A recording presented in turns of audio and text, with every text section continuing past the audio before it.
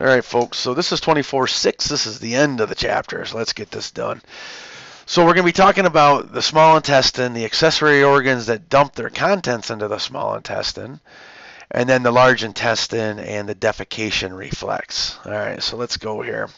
So this is really anatomy right here. You, uh, we learned the duodenum, du- duodenum. I say duodenum, but correctly it's duodenum, jejunum, and ileum. Uh, we learn those in lab. But let me just tell you that the folds inside the small intestine right here, these are called plica circularis, uh, circular folds. Plica circularis. Same thing as before, increased surface area. All right, so you can see that. Okay, they have folds. On the folds, they have villi. But there is something new I'm going to be showing you this time, and that is on the villi, the simple columnar epithelium have microvilli. So you'll see that here very shortly. But first of all, you can see the tunics. You can see the serosa. You can see the muscularis externa. You can see the submucosa. You can see the muscularis mucosa. You can see the lamina propria of the mucosa, and then you can see the villi of the mucosa. And of course, these villi exist on these folds. So you got you got finger-like projections on the folds, and I'm going to even get smaller and show you microvilli shortly. Okay, here we go. You can barely see them right here. So here's a villi. Look at this villi with the um, artery coming in, the capillary beds, and the vein going out. All right. Look at this lacteal right up through the villi. Why do we care about that lacteal? Well, that's where the lipids go. Lipids are absorbed into the lacteals first and then come back to the bloodstream and the liver. Whereas everything else is absorbed into the capillaries, the blood capillaries. So all your nutrients are absorbed into the blood capillaries except for the lipids, and the lipids go into the lacteals. Look at these look at these little hair-like projections on the simple columnar epithelium right there. Those are microvilli.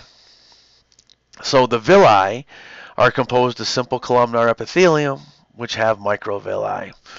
And you have these goblet cells right here secreting mucus as well. So this is indeed a mucous membrane, as we've said before. Uh, scattered throughout the the gastrointestinal tract, there's these lymph nodes and lymph nodules. They're called, um, generally they're called MALT, mucosa-associated lymph tissue.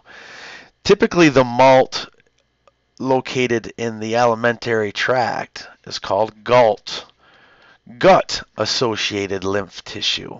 So um, scattered throughout, we have these malts or these galts or lymphoid nodules scattered throughout the digestive tract. This is just a histological picture of it. You can see the mucous cells, you can see the capillaries, you can see the lacteal. We're going to look at this in lab. All right. Now what we have here is the pancreas with endocrine, of course, and exocrine function. We've talked about the endocrine function in detail. The exocrine function is this. The pancreas makes enzymes and bicarb. Enzymes and bicarbonate. The bicarbonate secreted into the duodenum and it neutralizes it neutralizes the uh, the acids from the stomach because the enzymes need a basic environment to be functional. So here's the pancreatic duct right here. Right here's the pancreatic duct carrying the bicarb and the enzymes. Here's the accessory pancreatic duct going up to the minor papilla. Here's the pancreatic duct continuing going to the major papilla. There's a minor papilla and major papilla. Now here's the common bile duct. That joins the pancreatic duct right here. And so the common bile duct uses the major duodenal papilla in some of us. Some of us it actually doesn't join, and it has its own ent entry into the duodenum. But most of us, most of us, it joins. So we teach, we always teach the anatomy that's the most common anatomy. It's not it's not because it's the only anatomy out there. So you can see that. All right, the liver, the liver makes bile and the liver stores the bile in the gallbladder.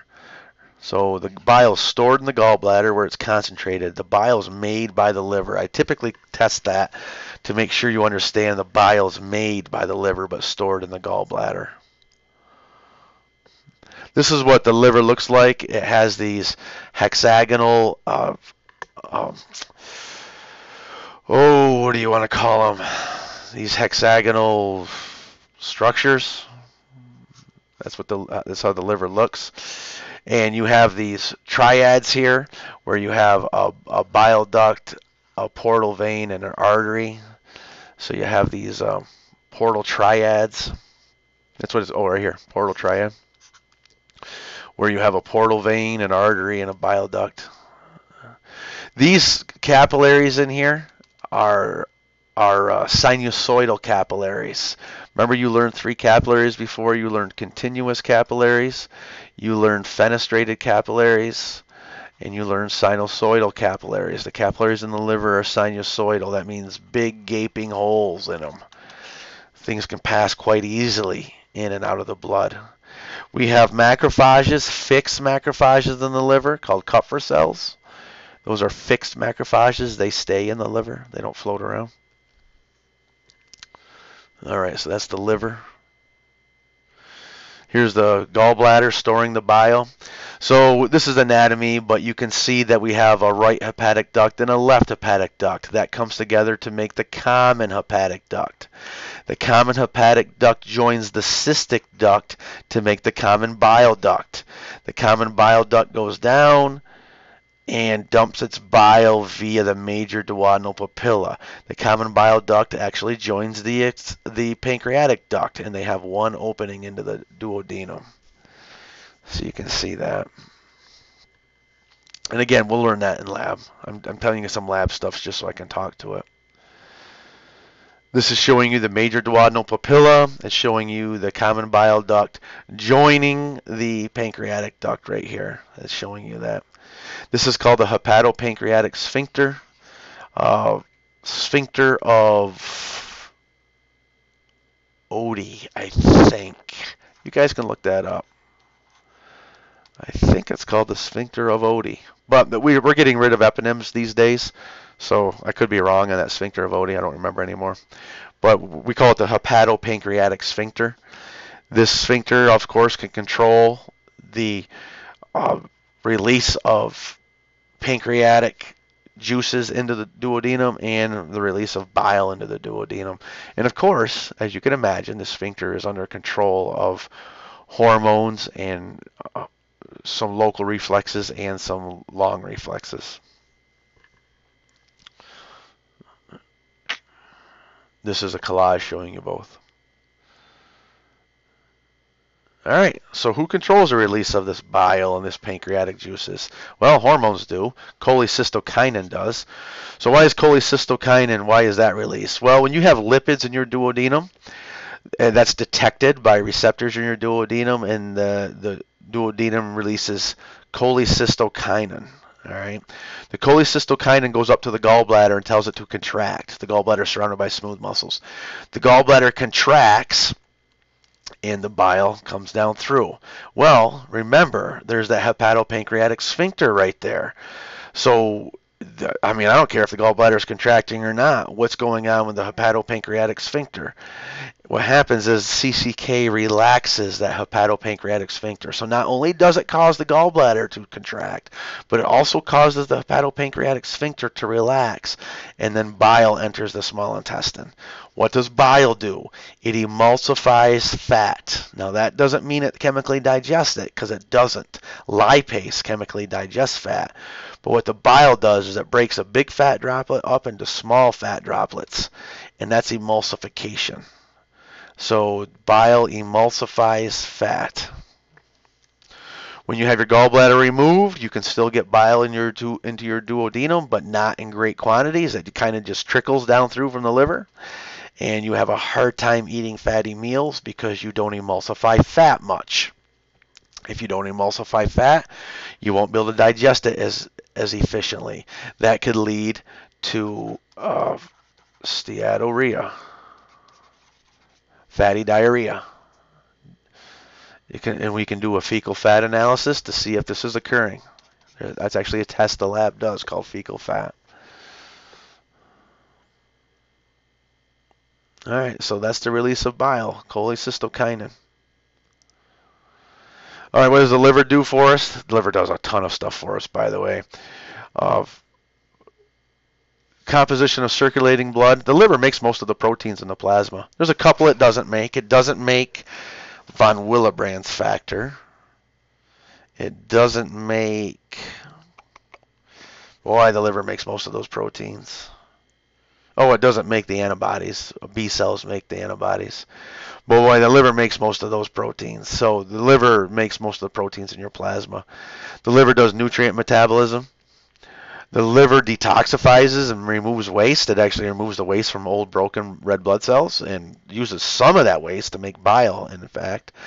Um, the liver stores some nutrients. It actually stores vitamin B12 most usually the rule of thumb is water soluble vitamins aren't stored appreciably, but the B12 is the exception. The liver does store B12.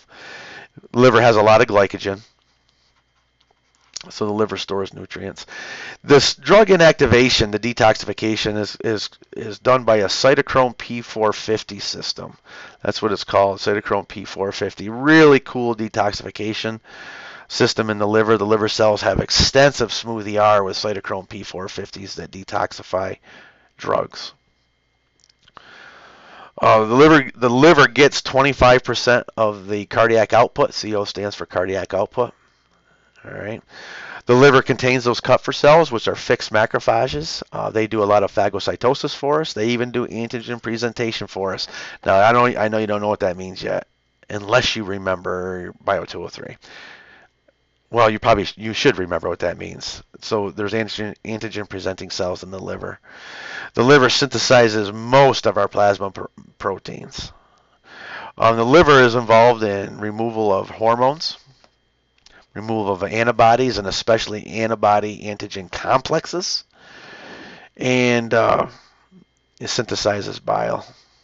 Okay, so liver does a whole bunch of things for us.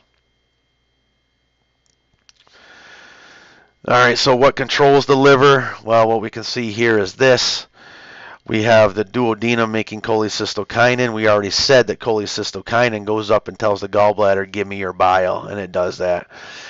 Of so right here, cholecystokinin goes to the gallbladder and stimulates contraction. All right. Look at right here. Secretin causes the secretion stimulates bile secretion by the liver. Well, where does it go? Gallbladder. It can be it can be stored in the gallbladder, and actually it shows you that here. Right here. If you're not opening the sphincter yet, where does the bile go that's being secreted? Right into the gallbladder. See that arrow?